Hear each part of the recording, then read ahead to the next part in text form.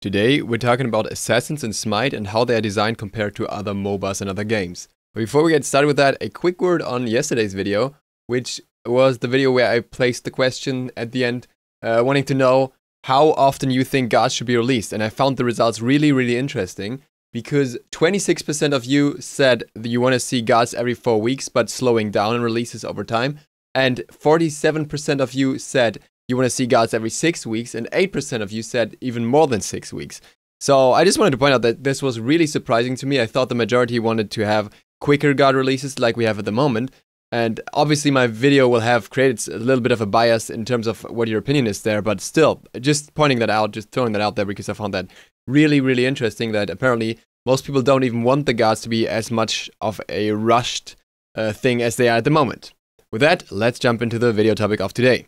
When you're thinking of an assassin, what is the first thing that comes to mind? For me, it is actually a character from Assassin's Creed. Doesn't matter which one, they all basically look the same. Other than that, I'm thinking of rogues in World of Warcraft who have those daggers and poisons and stealth and stuff like that, but not really that much the typical assassin in Smite. Now, in order to compare this better, it obviously doesn't make all too much sense to compare to characters from completely different genres because obviously different mechanics apply there. But there is a genre that's MOBAs, which uh, includes Smite, and there are other games in this genre that will give us a bit of a idea of an idea how you can link those characters, how how they are designed across the games. We'll start with League of Legends. In League of Legends, you have characters like Kha'Zix, for example, or Akali, and a lot of characters that are like halfway assassins. You have characters like Rengar that work with stealth. You have characters like Shaco that work a little bit like Loki. And then they also have all these uh, hunters that are somehow classified as assassins as well.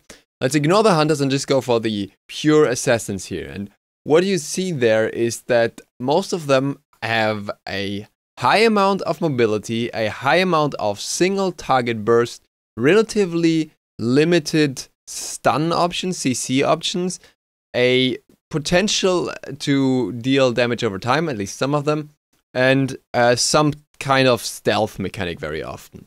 That's basically what assassins are for the most part. Obviously, there are exceptions. There is, for example, Master Yi who can jump around between enemies, or Fiora who can do the same, but still, they're highly based on the mobility that is provided with these kinds of abilities. You will find a similar pattern in Heroes of the Storm, where you, for example, have Illidan who works with this high mobility stuff and a form where he deals more damage and stuff like that.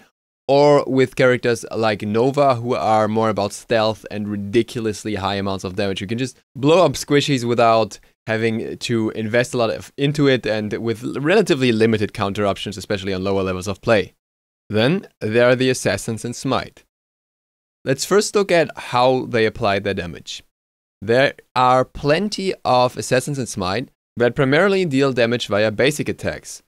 Arachne for the most part, Bakasura, Kali, Mercury, Nemesis, and to some extent at least Awilix. Mercury works a little different because he works a little bit more of burst attacks than the others, so he could maybe classify somewhere in between, but still he is a lot about his basic attacks, and um, he still needs a few more swings instead of heading all that heavy with his abilities outside of his one. In my opinion, those characters, as much as I like playing them, don't really feel like assassins. They don't feel like characters that come from the back and stab you with a knife and whatever, or poison you, or stuff like that. They just feel like heavy hitting melee attackers. More like, I wouldn't call them warriors, but fighters. Fighters is probably a good word for them.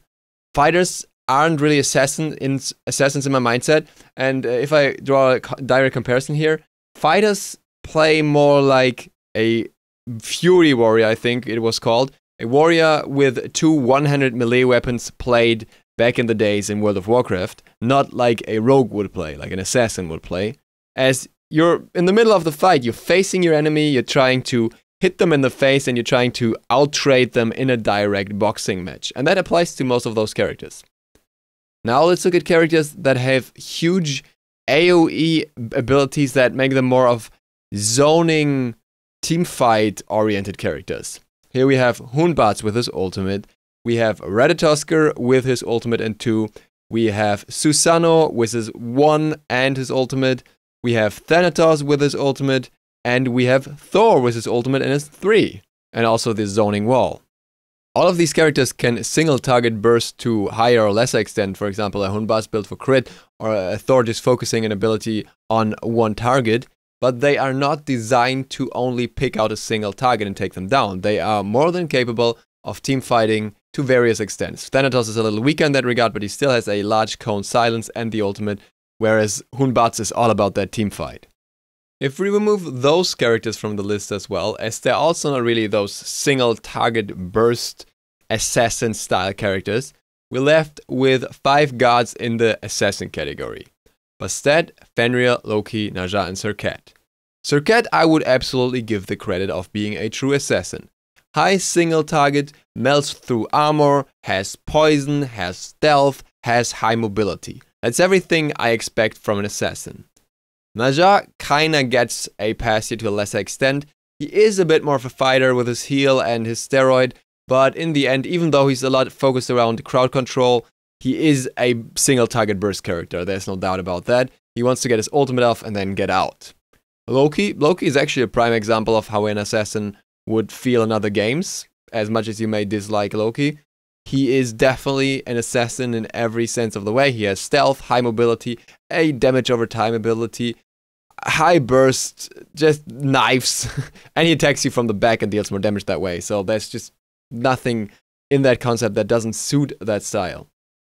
Then Fenrir is a lot more arguable in my opinion. Fenrir often is built to be tanky in the first place and is very much about his ultimate and picking out targets and not so much about killing the targets himself, but more of a team oriented character that brings targets to the team, which once again doesn't really fit the typical assassin mindset. And then there's Bastet. Bastet, I think I would classify as a true assassin, mostly because she does have all these bleed effects and she has high mobility in her kit. So I think that kind of puts her in that category more than anywhere else. Even though it's it's kind of a bit odd that uh, so much of her mechanic is about her cats. And then there's one more god who's not an assassin, but theoretically is an assassin, which is Ao Kuang. And Ao Kuang is probably the most assassiny assassin next to Loki that we have in Smite.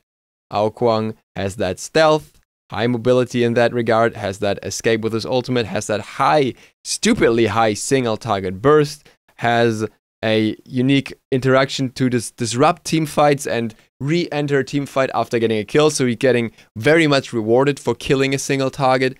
I that's that's what I would imagine Assassin to be. And interestingly enough, he is one of the best performing junglers at the moment. So more or less indicating that this kind of thing functions. What Ao Kuang hardly has is crowd control. The only crowd control is actually in his ultimate. Meanwhile, a lot of the other assassins in Smite, or a lot of the characters in general, are very much focused on crowd control. And I feel that it's okay if you put a lot of crowd control on a Guardian, but sometimes it becomes a little awkward how much crowd control is put on the assassins, which kind of pushes them into very particular roles that would not really be classified as a typical assassin job. If you give a character too much AoE damage and too much crowd control, then obviously you cannot give them as much damage. If you give that character even more damage on top, then why should you pick anything else? Meanwhile, at the same time, I feel like that's very, very restrictive, especially when it comes to mobility characters. I'd like to point out Akali in League of Legends here, who has a total of three dashes in her ultimate plus an additional stealth. If you've play, ever played the character, she is extremely friggin' fun to play because you dash behind every target, and you stick to them like glue, you have that high damage potential, but if you don't pay attention, you just get blown up. You're dead. If you ever get singled out in a team fight, you are dead meat immediately. And honestly, I think that is fun. I think that's what an assassin should feel like. Should really have a very short time frame where you go in, try to kill a target, and either succeed or fail, and depending on that, you may have an escape to get out, but if you don't use it wisely, you are dead. I would even be fine with not having escape, just having mobility towards enemy targets. So you have to make sure to kill them or you die, similar to the role that Zha currently has. To come to the point I'm trying to make here, I'm really hoping to see some more single target burst focused, damage focused, and not so much CC focused assassins and smite again. Maybe with a lot more mobility, maybe stuff like that.